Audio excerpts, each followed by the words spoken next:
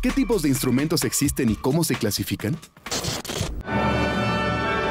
Los instrumentos musicales han sido clasificados de dos maneras, la tradicional y la organológica.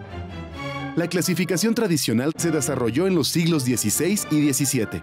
Este sistema reconoció cuatro grupos de instrumentos, de cuerda, de viento, de percusión y otros que llamaron varios. La clasificación organológica fue desarrollada por los musicólogos Kurt Sachs y Eric Hornbostel en 1914. Esta clasificación se realizó considerando el modo de producción del sonido, el modo de construcción y su ejecución. Así se formaron cuatro grupos, cordófonos, aerófonos, membranófonos e idiófonos. Posteriormente se les incorporó el de los electrófonos.